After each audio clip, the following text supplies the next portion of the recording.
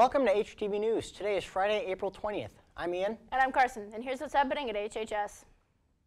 HHS bands earned gold and silver ratings at the ISMA Organizational Contest at KV High School. The intermediate band, directed by Kelly Raylander and Lauren Takel, earned a gold rating and a gold sight reading award. The advanced band, directed by Brian Grenier, earned a silver rating and gold sight reading award. Congratulations to the bands for their fine work. Hobart Key Club walked away with the following distinguished state awards. Club President Elena Palizzotto, Club Treasurer Alexa Ray, Club Webmaster Lily Colross, First Place Scrapbook Kiwanis Advisor Larry Barassus, Club Award First Place Swing Dancing Elena Palizzotto and Lily Colross. This recognition would not have been possible without the tremendous service that all members have put in this year. Over 1,000 hours of service and over 15 service projects completed. Amazing job, everyone. Congratulations, Key Clubbers.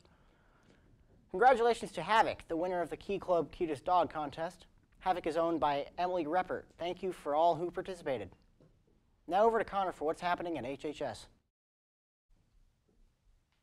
Juniors and seniors who have bought prom tickets can still purchase this t-shirt. See Mrs. Krieg or Mrs. Slough if interested. There's still some senior apparel items left. Check with Mrs. Nelson if interested. Key Club will be hosting its fourth annual Prader-Willi Walk for Research on Saturday, May 19th on our track at 11 a.m. It's one hour walk. Registration is $10 and can be done ahead of time or on that day. Put it on your calendar if you can join us. Now back over to Carson and Ian for some more announcements.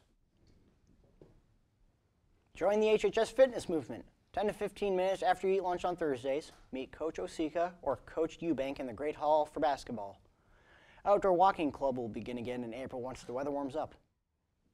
Brickie Ambassadors will be accepting applications for members through April 20th. The ambassadors are an important part of our school culture and play an important role in soothing their transition to high school for new students. Applications are available from the main office.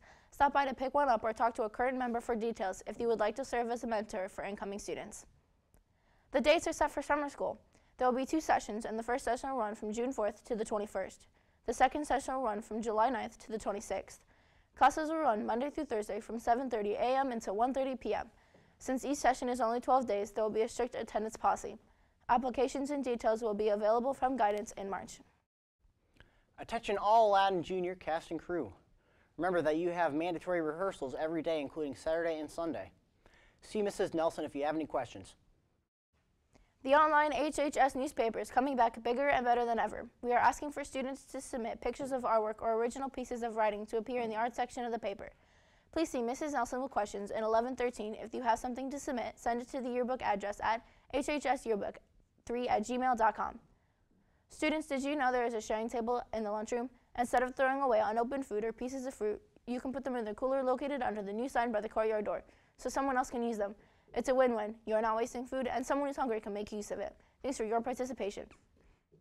If you haven't done so already, please be sure to subscribe to Hobart High School Radio and Television on YouTube to get all the latest updates and announcements. And that wraps it up for today's announcements. I'm Carson. And I'm Ian. Have, Have a, great, great day. HHS.